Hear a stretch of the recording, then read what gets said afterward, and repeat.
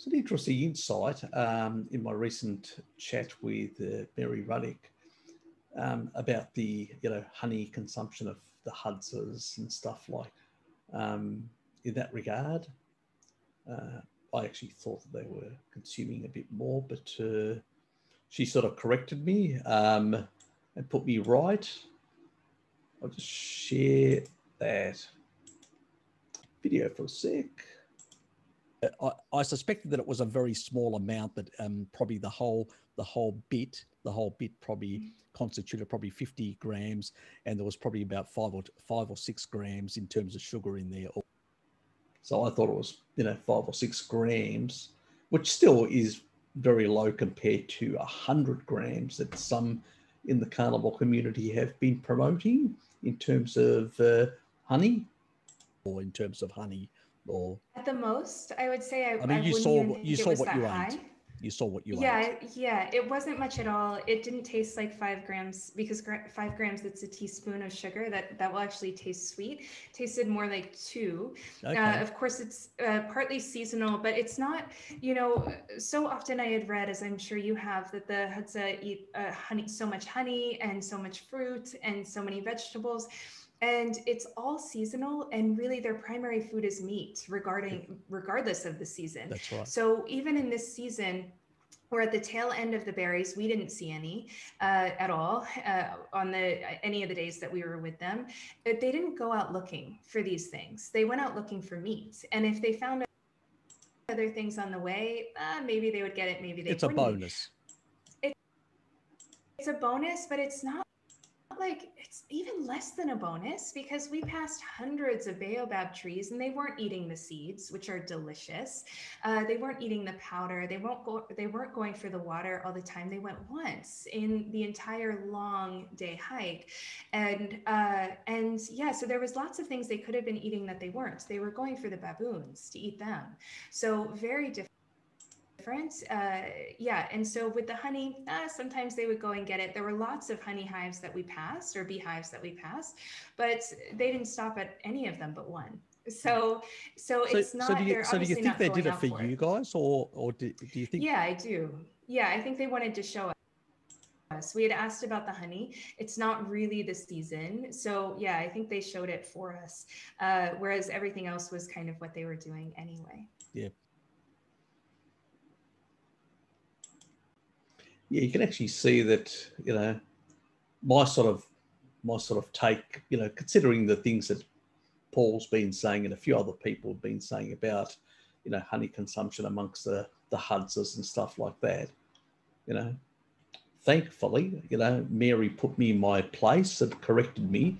She said, no, it's not five or six grams. It's uh, it's two grams. You know, it's not that that, and that's not their focus. You know, it's a treat maybe here or there, but it's not their focus. It's not 100 grams every day, you know, this sort of nonsense. And it's seasonal as well. So, you know, it's a very dangerous message to, to be promoting out there high levels um, of honey consumption, in particular for two reasons. One, it drives visceral fat. Two, it's very high in deuterium. You know, it's just pretty much nonsense. You know, it should be counterintuitive, but uh, for some people, unfortunately, they have jumped on certain bandwagons and tried to make a bit of a career around it. Now, just quickly show you just one study back into this area.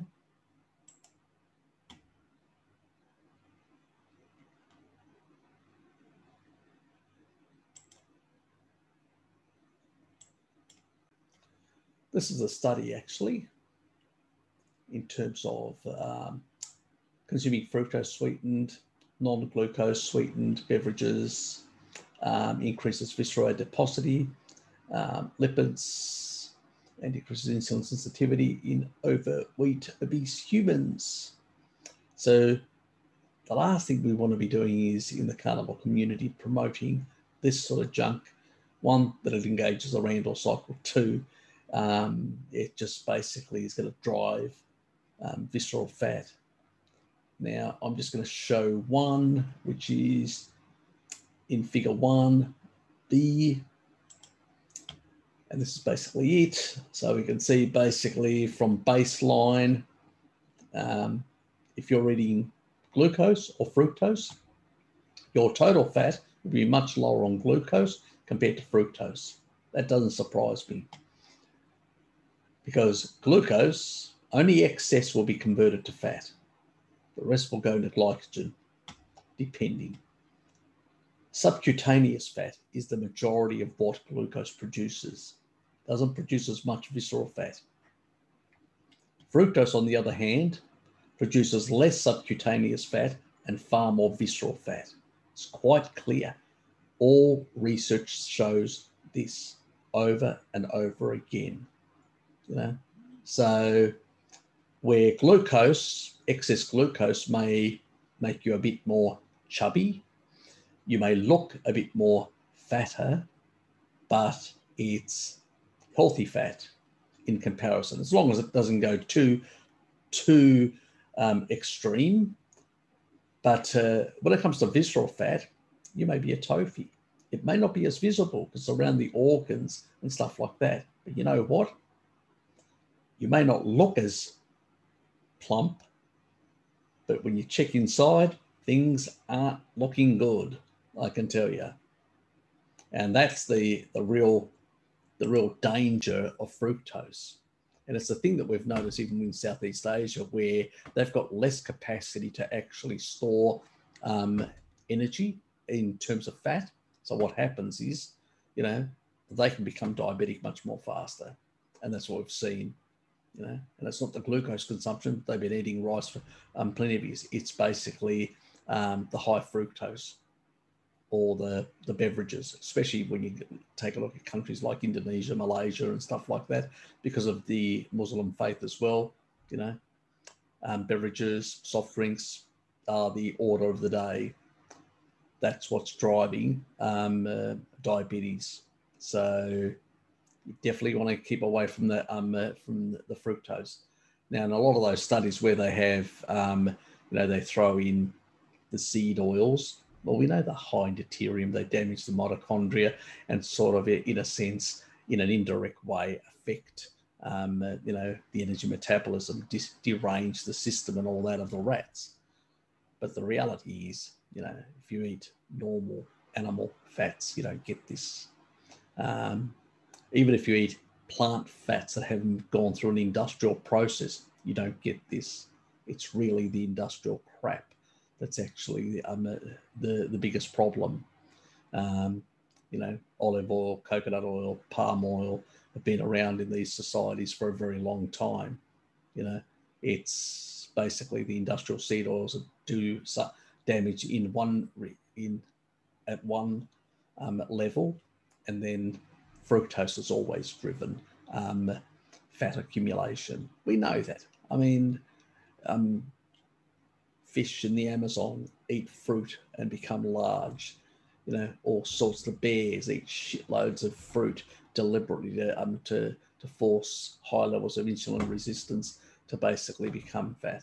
And it's basically because they will combine sugar and fat at the same time. It's what the standard diet is, you know. So there is the Randle cycle at play um, for sure.